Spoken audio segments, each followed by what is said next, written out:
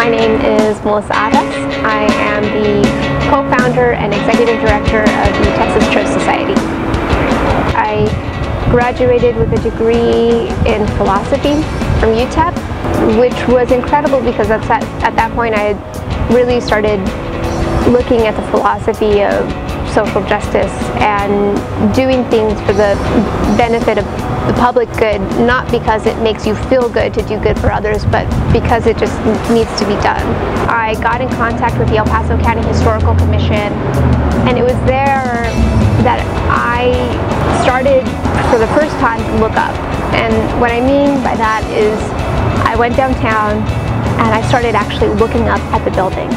We don't realize that what we have here is as good or better than other cities that have similar population sizes and you know similar age in terms of how long that city had been founded.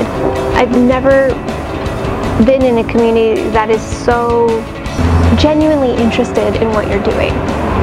You know, I, I love that about my city. I think this community is amazing.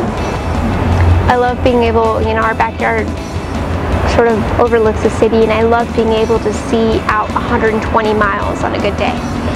And you know, you can watch the thunderstorms rolling in from miles and miles out and you see these, you know, these isolated rainstorms and it's so incredibly beautiful and I think El Paso has the best sunsets that I've ever seen in the entire world. I've seen a lot of really amazing sunsets, but they never compare to what we have here.